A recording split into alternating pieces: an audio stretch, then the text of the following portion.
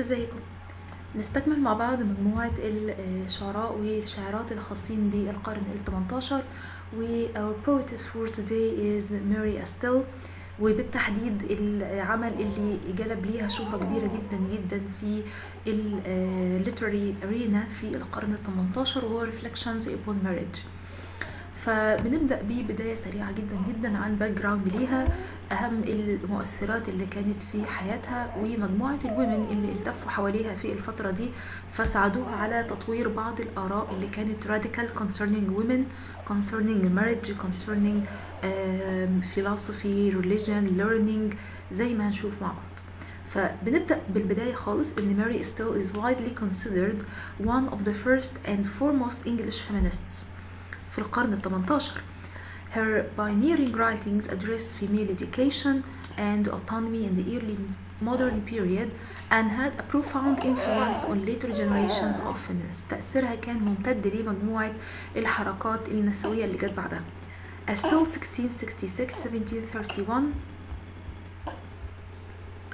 فماري Estelle was a writer and philosopher who lived and worked in London under the patronage of the progressive ladies at court, including the writers Annie Converty, Countess of Coventry and Lady Mary Wortley Montagu فكل دول نقدر نقول ان هم كانوا من اوائل السيدات المؤثرات في تاثيرها وفي كيانها ككاتبه في القرن ال 18 Estelle never married and instead devoted her life to intellectual pursuit. She was the first woman to study astronomy at the Royal Observatory in Greenwich and corresponded with the most influential academics of the era. Let's see the next uh, paragraph. Mary Estelle's epithet brought to feminist reflections upon marriage في 1700 was a radical treatise opposing the inequalities of early modern marriage practices. فنقدر نقول ان المين ثيم بتاع هذا العمل هو كان um, exposing the inequalities of early modern marriage practices Estelle recognized that when a woman married she put herself entirely into her husband's power and if the yoke be grievous for example neither law or customs affords her that redress which a man obtains She advised women بهذا الشكل بقى she advised women to either abstain from electing a monarch for life or of they must to first equip themselves ايه بقى النوع equipment اللي لازم الwomen to equip themselves with education they must equip themselves with education in order to better understand the gravity of marriage and the importance of their petrous nature intent and position in the world نيجي للباراجراف اللي بعده Estelle's ideas and bombastic style both influenced and incensed writers of her own and subsequent generations. Daniel Defoe, for example, plagiarized her plan for a female academy in essay on projects. Jonathan Swift في same uh, 18th century and Sir Richard Steele attacked and ridiculed her work in the Tatler magazine. Later writers such as Samuel uh, Richardson and Alfred Lord Tennyson used her life and work as inspiration for their own literature. يبقى كان ايه تأثيرها على الحياة الأدبية؟ كان تأثيرها على الحياة الأدبية متفاوت ما بين uh, some figures tried to imitate her style with her plans some others ridiculed her with some others used her life and work as inspiration to their own literature okay uh, في 1700 Estelle published her most popular feminist work some reflections upon marriage هو بالتحديد الجزء اللي احنا هنتناوله uh, بمور focus ومور analysis later on في the same video a response to the scandalous marriage of Hortense Mazzini, the Duchess of uh, Mazarin. Following this, her bestseller Richard Wilkins seems to have commissioned her to write several Tory political pamphlets. ففي الباراجراف دوت عندنا مجموعة من الأعمال اللي هي كتبتها such as moderation truly stated, an impartial inquiry and a fair way with the dissenters, وطبعا عندها كتب تانية في المورال philosophy زي The Christian Religion uh, as professed by a daughter of the Church of England وغيرها. She wittily criticizes the philosophical uh, underpinnings of the institution of marriage in 1700s England في إنجلترا في القرن ال 18 هي انتقدت بعض البدع اللي كانت حاصلة في ال institution الكاملة اللي اسمها ال marriage warning women بتحذر فيها النساء of the dangers of a hasty or ill-considered choice بتحذرهم من الاختيار السريع hasty أو ال ill-considered اللي مفيش فيه تفكير كتير لزوج آه، مش مناسب The Duchess of Mazarin is used as an example فهي أخذت القصة الحقيقية ل Duchess of Mazarin لإكزامبل ل dangers of an ill education كمثال على لما يكون التعليم قليل اللي اتعرض على الفتاة ويكون تعليمها قليل و unequal marriage وكمان الزواج بيكون غير متكافئ ده هيتسبب في زيجة فاشلة فأستل argues that education will help women to make better matrimonial choices and meet the challenges of the married state. She has need of a strong reason of a truly Christian and well-tempered spirit. فحددت بعض النقاط اللي السيدات before they consider marriage لابد ان هم يكونوا mastering هذه ال ال pillars أو هذه النقاط in order to get a successful marriage اولهم كان education تانيهم كان ال virtue الفضيلة ثالثهم كان strong reason عقل وانتلكت جيد وكمان truly Christianity يكون عندهم دين جيد وكمان a well tempered spirit فأستل warns that disparity in intelligence character and fortune lead to misery. عدم وجود هذه الصفات هيؤدي misery مأساة. حاجة معضلة في الزواج. And recommends that marriage be based on lasting friendship. بتقول إن الزواج السعيد أو القائم على آه، أساس جيد بيكون قائم على الصداقة اولا rather than short lived attraction. أكتر منه إن هو يكون قائم على إنجذاب آه، قصير الأمد.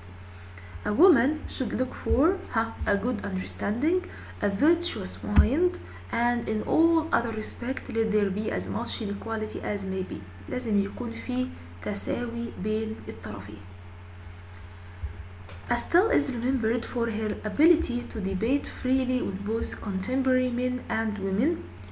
and particularly for her groundbreaking methods of negotiating the position of women in society by engaging in philosophical debate. يعني حاجة من الحاجات اللي ميزت ماري أستيل عن بقية الرايترز في القرن ال 18 من السيدات إن هي كانت كل كتاباتها مسنودة أو قائمة على أساس آه، فلسفي أساس philosophical فكانت بتقتبس وبتجيب أجزاء و pieces من ال philosophy وبتبدأ إن هي تقيم عليها حجتها من أجل الإقناع آه، في الرايت في الوركس بتاعها فمثلا ديكارت's theory رينيه ديكارت's theory of dualism as separate mind and body allowed Estelle to promote the idea ساعد أستيل إنها آه، تطلع فكرة إن women as well as men had the ability to reason إن مثلا المن زي الwomen نفس القدرة على الريزن And subsequently ونتيجة لذلك they shouldn't be treated so poorly مش لازم نتعامل مع السيدات ان هم um, intellectually um, insufficient مثلا تمام فالسطر دوت من العمل بتاعها فبيقول if all men are born free why are all women born slaves لو كانوا كل الرجال ولدوا أحرار ليه بنعامل ال women as slaves فنقدر نقول إن أول جزء من الملف أو أول جزء من ال discussion النهارده هو عن خلفية ليها. مين هم السيدات المؤثرات في حياتها؟ آه إزاي اتشافت أو إزاي كان ال writers ال male شافوها و considered her writings وأهم آه ال- ال- القواعد اللي كانت بتستند عليها كتاباتها هي القواعد الفلسفية. تمام؟ طيب number 2 أهم حاجة في آه، الأعمال بتاعه ميري أستيل كان the theory of knowledge. يعني أول قاعدة هي تناولتها باستفاضة في أعمالها كانت نظرية المعرفة. تعالوا نشوف مع بعض النظرية دي بتقول إيه. Estille's guidelines on how to obtain knowledge can be found in the second part of her proposal في العمل اللي اسمه proposal اللي اتكتب في 1697 and this work Astill's epistemological approach is distinctively uh, rationalist insofar as she regards knowledge as founded on reason alone and denies that sensory experience can be trusted as a reliable guide to truth الفكرة العامة اللي أستيل بتقولها هي علشان نوصل لقدر حقيقي من المعرفة لازم نجنب كل أنواع المشاعر وبذلك طريق المعرفة يعني الطريق للنولج قائم على بيلر أو عمود واحد بس هو الريزن. ف to attain both truth and happiness علشان نوصل للحقيقة وللسعادة a woman must follow reliable rules. لازم تمشي على قواعد معتمدة للتفكير for thinking. A still six rules وهي عملت ست قواعد مسنودة على أفكار ديكارت رينيه ديكارت هو فيلسوف معروف جدا. عبارة عن إيه؟ أول حاجة we must acquire a distinct notion of our subject and a precise understanding of any key terms لازم الأول نحدد إحنا عايزين إيه تاني أو رقم 2 we must avoid straining into unnecessary or irrelevant subject matters علشان نفضل على نفس التحديد بتاع الهدف اللي في number 1 لازم ما نبعدش وما نوصلش لأي نقط غير آه غير ضرورية بعد كده رقم 3 we must examine the simplest subjects first لازم نبدأ ان إحنا نصفي ال subjects اللي إحنا حددناها ان إحنا عايزينها to the simplest first الأبسط الأول before progressing to the study of more complex matters طيب وبعدين رقم 4 we must take care to examine our subject thoroughly لازم نبدأ نتعمق في بحث هذه السبجكتس اللي هتؤدي بينا للمعرفة according to each of its parts and be sure not to leave any part unexamined رقم 5 we must keep our focus firmly fixed on the subject at hand اللي إحنا قدرنا to command و to master هو ده اللي نركز عليه مش نفضل نحاول نجمع all the time حاجات إحنا عايزينها واخر حاجة finally and most importantly we must not judge any further than we perceive مش لازم نعمل judgment مش لازم نحكم أكتر ما إحنا شايفين and we must not affirm anything as true unless it's incontestably known to be مش لازم نأكد ان حاجة حقيقية قبل ما يكون في knowledge و base ان هي حقيقية أو لا فنقدر نقول ان الفقرة دي بتبلور عندي أو بتلخص عندي her theory of knowledge طيب رقم ثلاثة إيه كمان من ال ideas اللي تناولتها في uh, reflections on marriage وكمان بقية اعمالها metaphysics of mind and body العلاقة بقى اللي ما بين ال mind وال body Astell's argument for the soul and body distinction can be found in section 228 of her Christian religion في عملها اللي اسمه Christian religion وبالتحديد في ال section رقم 228 حددت بعض الخطوط العريضة للعلاقة ما بين ال mind وال body Astell begins her critique of Locke with an inquiry about the nature of the thing in us that thinks. ما هو طبيعة الشيء اللي جوانا اللي بيفكر؟ اللي هو إيه؟ العقل. Is it immaterial? Or could it be material, as Locke appears to suggest in his essay concerning human understanding? In response, she points, she points to the fact that the mind has entirely different properties and affections to the body, and that we can have a complete idea of mind as a thinking thing without considering it as dependent on or related to our idea of body as extended substance. But if we can have a complete idea of something لو احنا عندنا فكرة كاملة متكاملة عن شيء in independence of a complete idea وهو تابع لفكرة تانية كاملة or another thing then those two things are really distinct the mind and the body are therefore distinct contra Locke بقى she says that we can affirm that the idea of thinking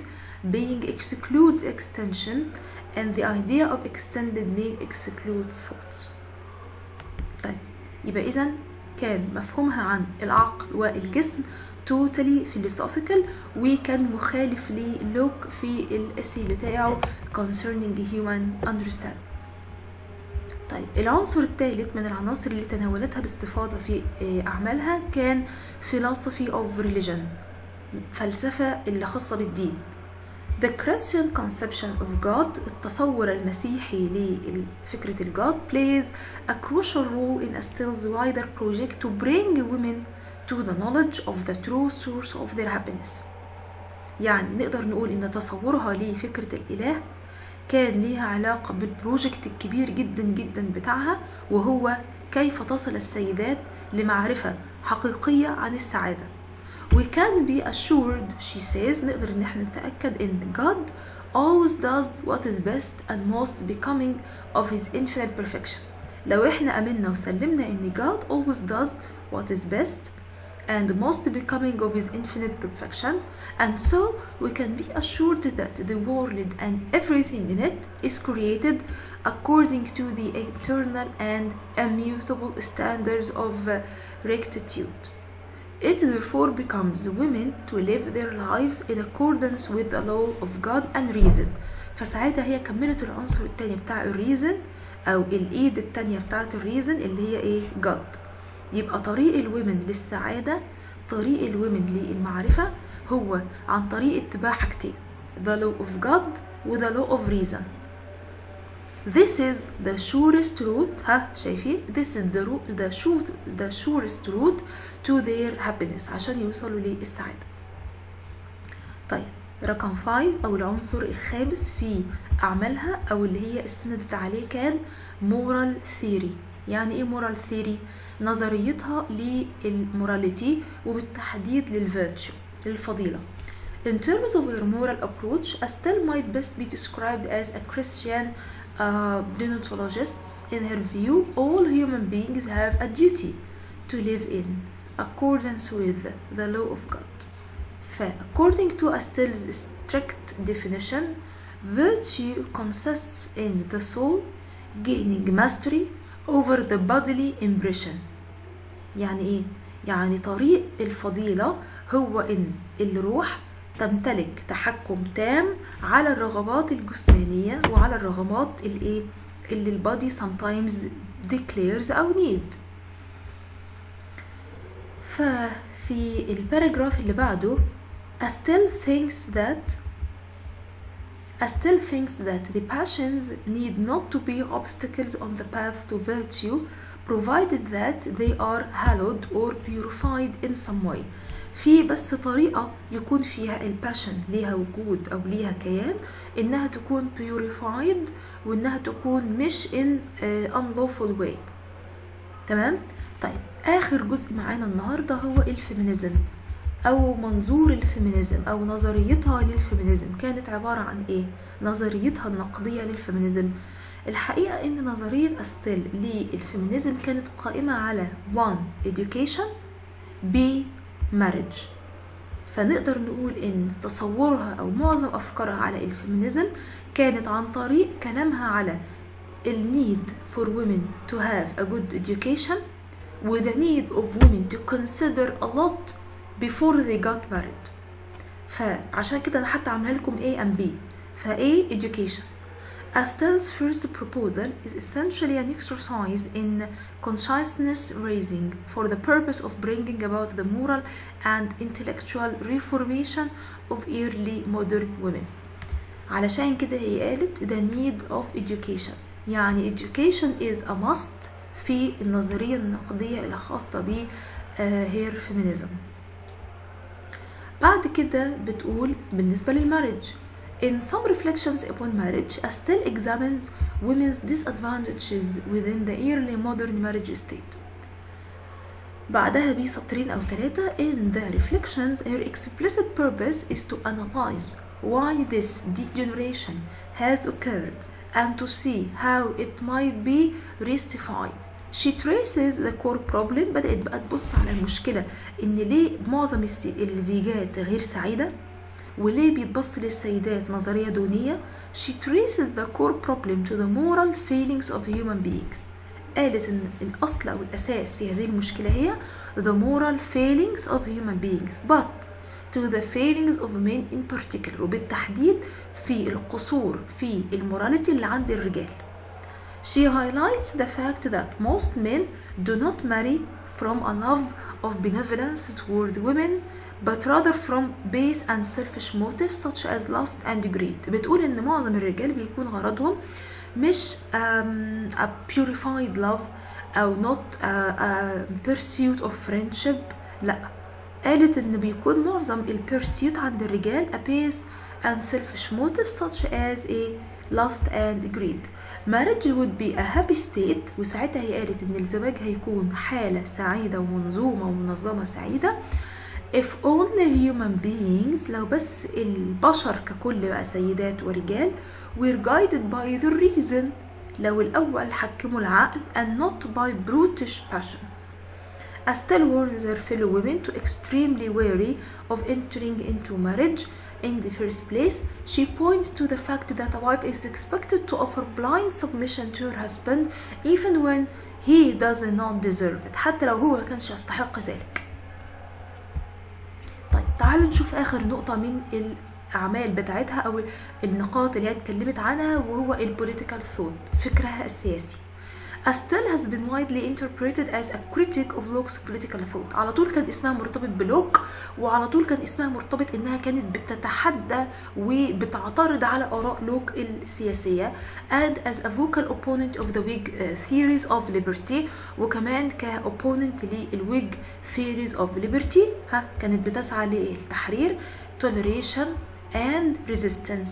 For more commentary, it's puzzling that Estelle could be both a feminist and a high church Tory ويمكن الحاجة اللي لفتت نظر الناس ليها وجعلتها أيقونة في العصر ال 18 القرن ال 18 هي إنها كانت a feminist وكمان high church إيه؟ Tory ف at first glance her support for women's freedom of judgment seems to be incompatible with her support for a political party that opposes freedom and conscience. يعني يمكن كان سبب الاستغراب إن هي كانت بترشح وبتسعى وراء حرية السيدات وتمكين السيدات على العكس من آرائها السياسية اللي كانت تابعة لل Tory واللي كان ال Tory وقتها كان opposing لل freedom و opposing لل conscience ف to dispel these tensions علشان توضح الفكرة دي. Scholars الباحثين have highlighted the fact that Astell's feminism قالوا إن الحركة النسوية أو التحرير الخاص بأستيل is founded on philosophical principles. نقدر نقول إن كانت الأفكار النسوية اللي خاصة بأستيل كانت قائمة زي ما قلنا في أول الفيديو. على إيه؟ على أفكار وعلى مبادئ فلسفية مش على مبادئ سياسية. وبناء عليه مفيش تعارض ما بين اتجاهها أو انتمائها السياسي وأفكارها التحررية اللي خاصة بتمكين المرأة. Not progressive political ideas مش على أفكار إيه؟ سياسية. And this partly explains why Estelle doesn't call for full political equality علشان كده مش بنلاقي أفكار كتير سياسية في كلامها أو في آه في أعمالها عن تمكين المرأة سياسيا في her time in her time. وبكده يكون خلص أول جزء من ماري أستيل أشوفكم إن شاء الله في part 2 في فيديو آخر بنتناول فيه بالتحديد أفكارها ال feminist. good luck